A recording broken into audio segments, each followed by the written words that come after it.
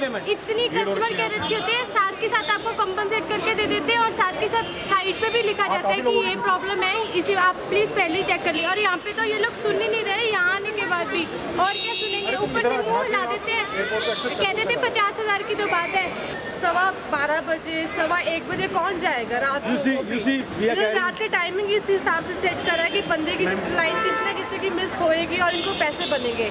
जब मैं आई हूँ वो पुलिस वाला भी बोल रहा है कि इंडिगो का हर उसका ही काम है धंधा बना रखा है कि पचास साठ हज़ार बंदों की फ़्लाइट मिस होएगी और इनको पैसे बनेंगे। बाकी एयर एशिया है एयर इंडिया है विस्तारा है सबको ही है। किसी का कुछ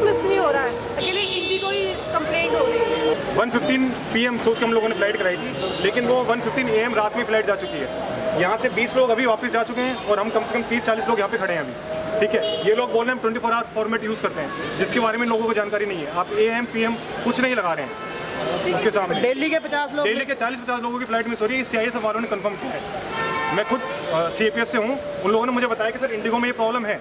एयर इंडिया में पूछिए एयर एशिया में पूछिए M P M specially specify होता है। अमेरिका और आप इसमें देखिए सर ये 115 50 लोग ऑलरेडी जा चुके हैं। मैडम कहते हैं कि 50 लोग की तो रोज होता है। लाइक एंड सर तो सीनियर मैनेजर को बुलाया वो तो कह रहे हैं ठीक है कोई बात नहीं पचास हज़ार दे दो एंड यू कैन डू बच्चे के साथ लेके एयरपोर्ट पे घूम रहे हम लोग। क्या पागल दिखते हैं क्या यहाँ पे? और सुन भी नहीं रहे हमारी बात।